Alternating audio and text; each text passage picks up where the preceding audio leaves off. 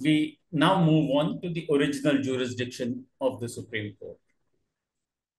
We have, after 136, the, the, the article of the Constitution which advocates on record most often resort to are writ petitions under Article 32.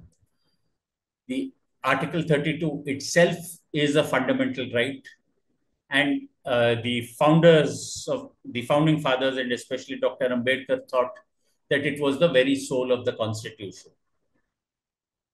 Uh, it was to the mind of the founding fathers of the Constitution something which was so fundamental that anybody, any citizen of India could approach the Supreme Court directly if and seek any of the uh, of the writs if there was a question of a violation of a fundamental right. Uh, so this uh, the way one of the leading cases out here is the fertilizer Kamgar Union case in 81. And uh, by virtue of Article 32, the, the court can issue directions, orders, or writs, including writs in the nature of habeas corpus, mandamus, prohibition, quo warranto, and certiorari, now, 32 eh, got quite a big uh, expansion once public interest litigation started in the in court in the 1980s in the post-emergency era when the court said that uh, it would widen the scope of uh, uh, public interest litigation. It would uh, wide, uh, reduce the requirements of locus standi and uh, entertain uh, petitions on behalf of the lost, the last, and the least, to use uh, Justice Krishna Iyer's words, so that people who could not approach the court themselves for financial or other causes could also be represented by people who were genuinely concerned. The, one of the lead cases is uh, Bandhua Mukti Morcha, where it was held uh, that Article 32 confers the widest amplitude of power on the Supreme Court to grant relief, and there's no specific indication circumscribing the power. Thus, PILs can be filed by any member of the public acting pro bona fide for relief in cases where such fundamental rights stand violated.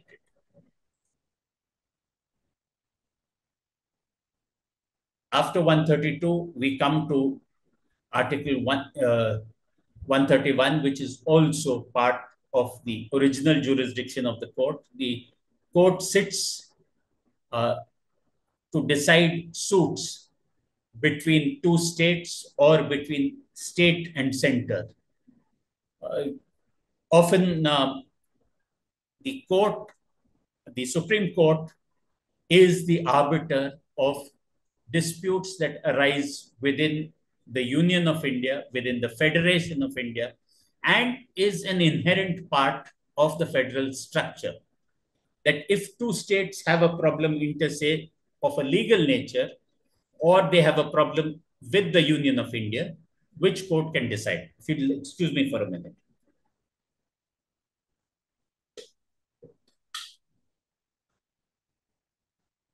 Now, the conditions met uh, required to be met to invoke the Supreme Court's jurisdiction under Article 131 are that the dispute must be among states and or center, and the dispute must revolve around a question of law or fact of a legal right. It's been invoked recent uh, several times. In recent history, the, state of Kerala filed a suit against the Union of India challenging the CAA.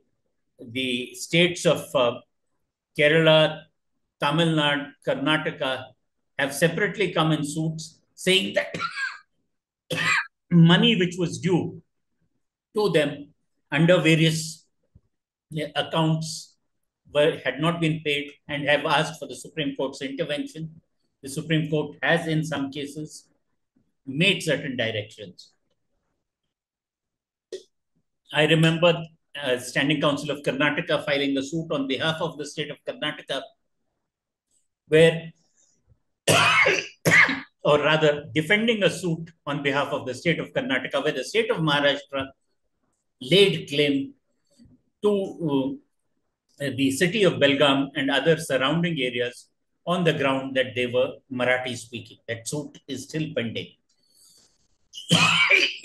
One of the earlier suits was, uh, uh, which is mentioned here, uh, Karnataka versus Union of India was when the Grover Commission was appointed by the uh, then Janta government to probe into certain acts of the Chief Minister of Karnataka. And there, the court held that Article 131 is a self contained code on matters falling within its purview, and the sole condition for invoking this jurisdiction is that disputes must exist between parties, must involve a question on which the ex existence or extent of a legal right depends.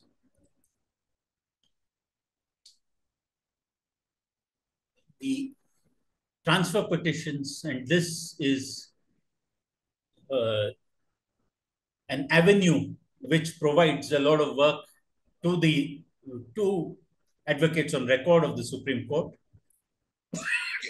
Transfer petitions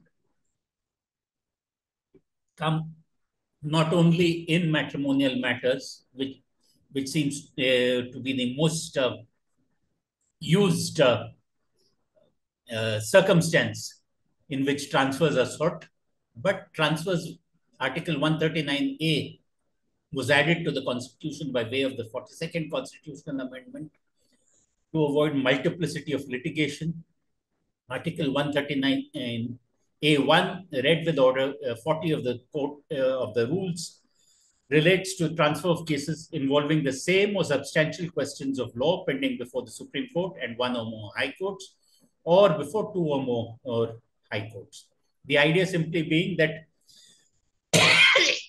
instead of two judgments from uh, two high courts or two or more judgments from two or more high courts, it is better that a question of law, a common question of law, uh, uh, pending in various high courts, is decided by the Supreme Court itself. This is resorted to more, uh, more by governments, and especially the union government, because the uh, legislation, especially union legislation, tends to be challenged in uh, different uh, courts, and very often different courts have have had uh, varying judgments. Article 139A2, read with Art, uh, Order 41, pertains to transfer of case pending before any high court to another high court. 25 of the CPC and 406 uh, of the CRPC pertain to transfer of a suit or appeal or a case or any other proceeding from a civil criminal court or high court in one state to a civil criminal court or high court in another state. For the exercise of jurisdiction under 25 of the CPC, the only relevant consideration is expediency for the ends of justice.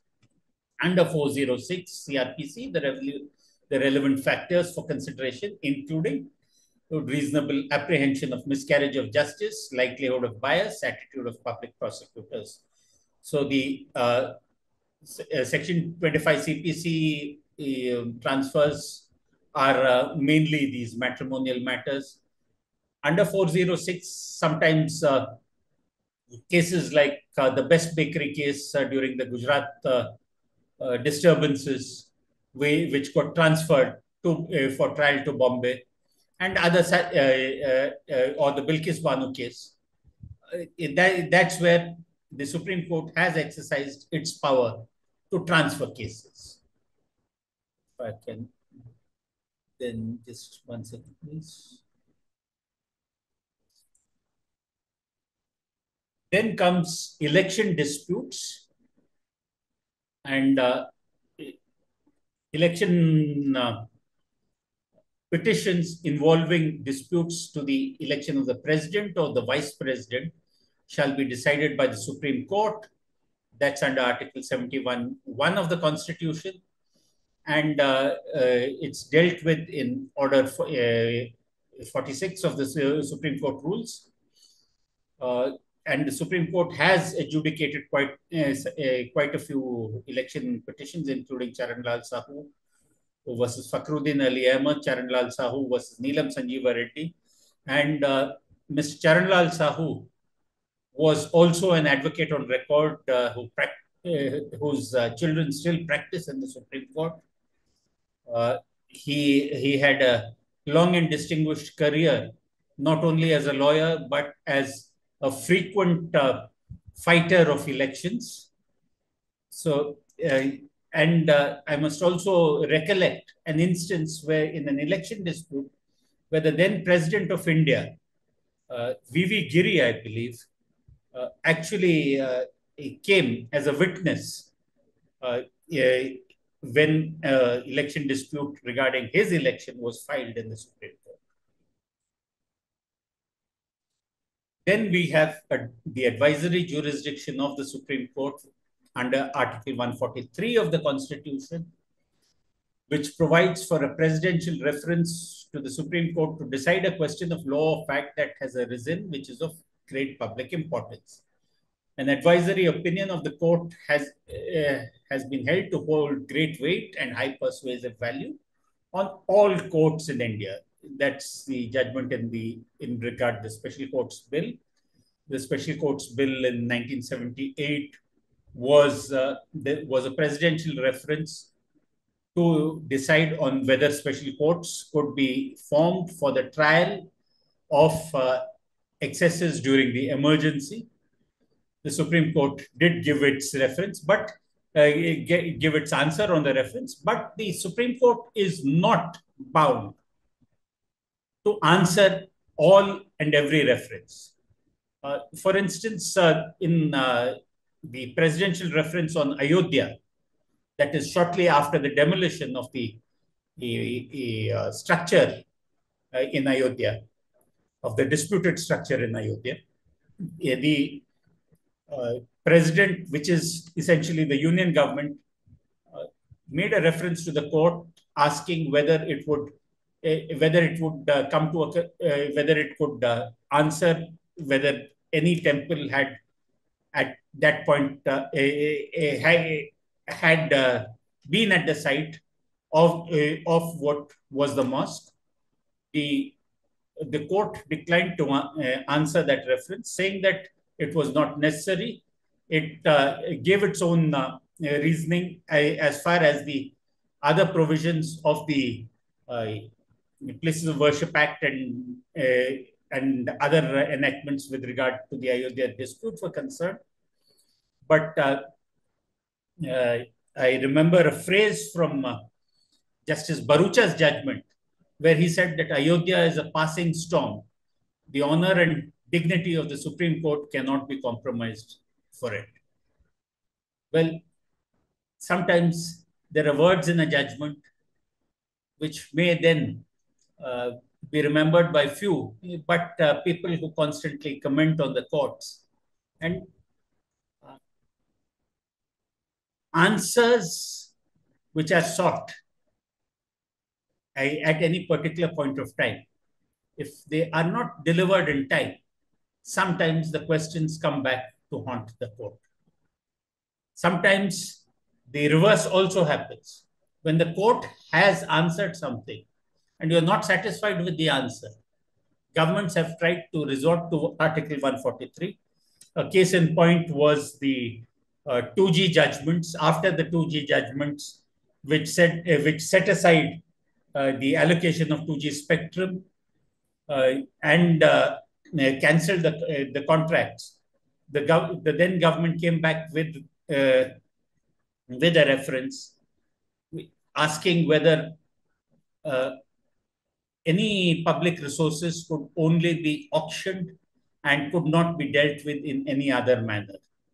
And the, and the Supreme Court, while answering it, made, uh, gave certain uh, exceptions which have now formed the basis of the law. So the so though uh, an answer to a presidential reference is not stricto sensu a judgment, it still has high persuasive value.